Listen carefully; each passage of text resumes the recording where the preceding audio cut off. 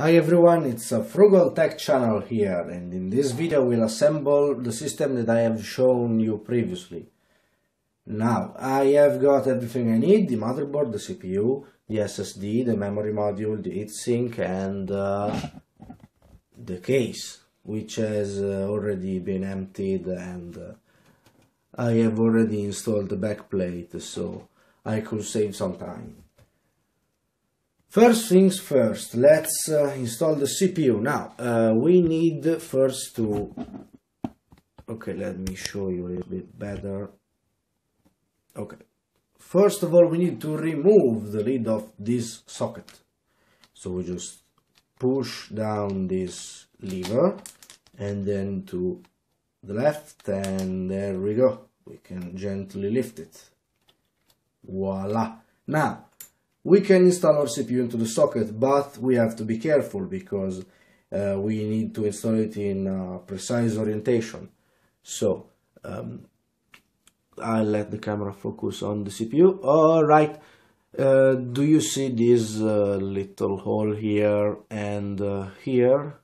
Well, they have to be placed to my left. So the CPU has to be mounted like so keep in mind that this uh, 1151 socket is uh, uh, mounted in this position. So your experience might vary but uh, you should also have a look at uh, if you are not very sure how do you need to install your CPU you can remove this bit of plastic which you will have to um, keep for uh, RMAs and uh, other stuff uh, if your motherboard happens to fail. And look at this. Alright I should zoom in a little bit. Okay. Here you can see a triangle. And uh, this is the position where the CPU triangle needs to be. So this wait a second. The camera refuses to operate. To cooperate. There you go. You can see a little golden triangle a small golden triangle. All right now you can see it perfectly. And it has to be uh, mounted like so. So uh, again we pull our cover up. We mount the CPU into our socket without using violence or any kind of brute force and we check that it's not moving just uh, you know touching it with a finger nothing else nothing more. Then we close the lid and uh, we pull this lever down. We have to apply some force to it but don't worry. Okay then now we pull to the left. Oh, wait a second here. Okay. And there you go our CPU is correctly installed. Now, let's move to the RAM slots. I will install this SODIMM in the RAM slot number one. Uh, it's uh, just like um, upgrading your uh, laptop RAM, so you just need to alright push it gently into the slot like so, and then you can uh, push a bit more firmly into it, but without uh, uh, using too much force and then you push down gently but firmly until you hear a click. There you go. You check that the RAM is not uh, moving anymore and there you go, you have installed your RAM slot. Now for the M.2 drive you have to be a little bit more careful. Uh, because uh, we also need uh, we also need some screws that uh, the motherboard uh, has got and uh, we should not ever ever lose them because they're really difficult to find. These two screws here I don't know if you can see them. Maybe okay perfect. These two screws here. Now let's have a look at the M.2 socket. All right now we shall uh, um, use uh, our first screw and we shall install it where uh, the um, where uh, we can find the correct hole for our SSD we just need to tighten this screw by hand not uh, we don't need any uh, specific tool then we install the SSD into our socket. Okay. There you go. All right. And then we pick a screwdriver normal um, a normal screwdriver and uh, we just uh, screw the other screw in so our uh, M.2 SSD can alright can stand still on our motherboard. Okay. Now the unit is installed. And the last thing we need to install is the CPU cooler. As we have here now this cooler has got pre-applied thermal paste so I won't cover any uh, thermal paste uh, installation. Maybe I will uh, use um, another cooler in the future so I will probably make a video about it. But whatever not right now. Uh, let's check first that uh, let's check first the orientation of the cooler that we prefer. This particular uh, Intel stock cooler is not um, has not got any heat pipes or uh, any powerful stuff that uh, could interfere with our motherboard components so I don't think there's there should be any problem installing it. Okay uh, we should also be careful that uh, um, our fan connector has got um, has got uh, is not uh, so so far from the motherboard because uh, otherwise we could not um, we could not plug it in and our fan could not operate. So let me have a look here for a second. Okay I've checked and uh, I've noticed that everything is okay. Now I shall uh, um, put the cooler onto the CPU and then push okay. No, first things first, I shall put the cooler onto the CPU. Uh, be careful because uh, this is a thermal paste and you don't want it to uh, be um, spreaded around uh, on the CPU unevenly, so you should, uh, there you go, follow this, oh, follow, wait a second, okay, follow these four holes that you can find onto your motherboard. Now, Okay, one, two, three, and uh, and the four. Okay, and uh, after that I should put some pressure on these pins. Okay, yeah, you can hear a click when you're doing it. It's totally fine. Now, um, what I prefer to do is uh, uh, putting the pressure on um, with a crossed order, so uh, the thermal paste can distribute an even can distribute evenly pardon me and uh, CPU is not uh, under much stress. So one two okay, three.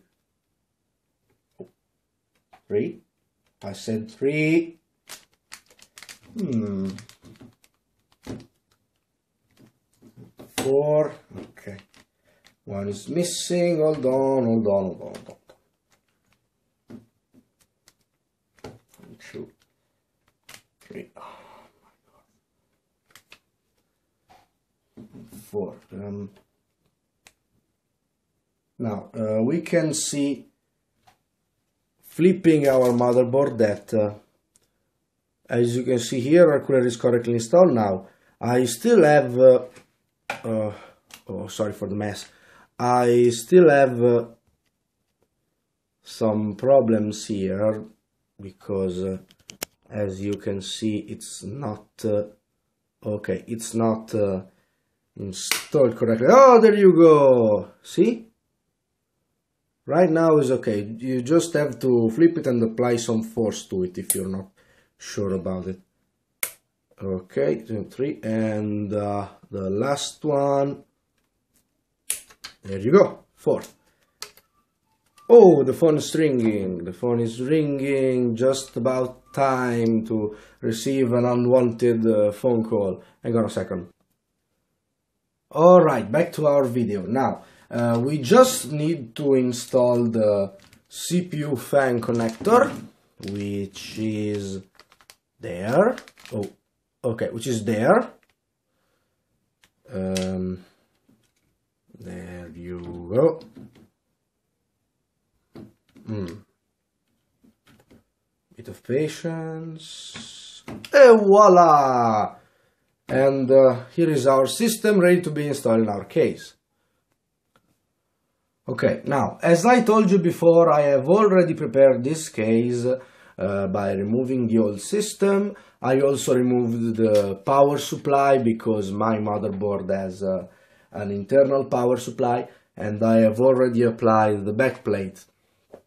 I have also removed all the USB uh, headers and the microphone and the headphone headers because I won't need them and they are uh, and they were occupying quite a lot of space. So we just need to install our system on the case and to uh, you know connect some some uh, cables that are left. Let's start by um, installing our motherboard onto uh, into our case. Now um, camera is a bit uh, off focus slightly. Okay no. Well whatever. Okay now it's good um, we just have to put it inside the case um, with a bit of caution because we do need the, the motherboard to align onto the back plate.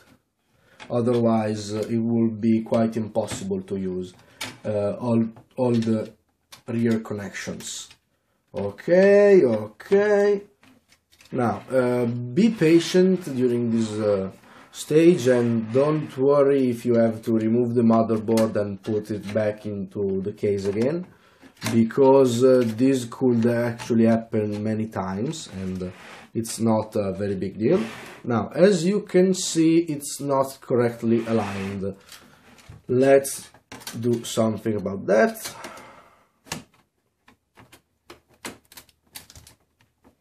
Right. Okay that's perfect. But we still need to screw in the motherboard. Now we have uh, uh, four screws because this is a mini ITX board and it only needs four screws. Here our screwdriver. Let's screw this uh, motherboard into place. We have uh, four holes um, here about here here and there and uh, now I shall screw the motherboard to the case and then we um, will just connect the, the remaining cables. Okay, uh, I'm using my cell phone to provide a bit of light here. Now, um, I've screwed uh, all the four screws into place and uh, right now I need to connect the uh, chassis header to our motherboard. Now this particular motherboard didn't uh, offer uh, quite a good a quite good explanation, so I have to do the old trial and error method. But uh, the thing that I the thing that I suggest you to do is do a little bit of trial and error and to connect the power switch this uh, cable here which allows your computer to boot up first and then later the other the other uh, stuff now, uh, I shall connect the cable and then we shall close the case and then we will be okay. Okay, I found out the correct position uh, and right now I can close the case. And there you go, my system has been completely installed. Now I should uh, set up the BIOS and install the operating system, but uh, until then uh, we have to stop right now because we're reaching the 15 minute mark. So uh, we'll meet again in the next video and uh, like and subscribe if you like this video from uh, Frugal Tech channel. This is all. Have a nice day. Bye bye guys